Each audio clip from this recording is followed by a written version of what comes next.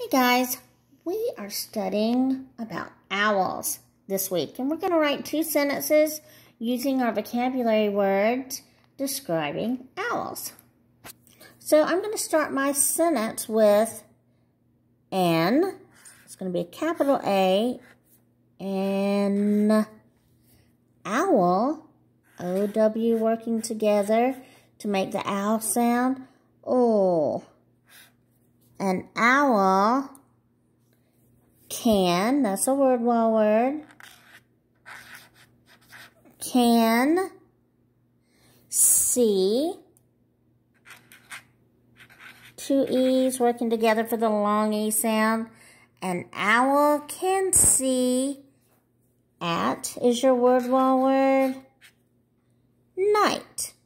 N I long I G H T T T. And a period. That's the end of our complete thought.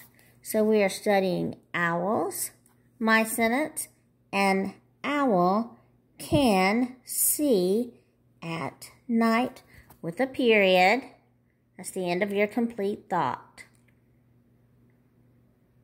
My second sentence to describe owls I'm going to put an owl, so I'm going to use the same two words, capitalize A, an owl, copying from the sentence above, an owl has,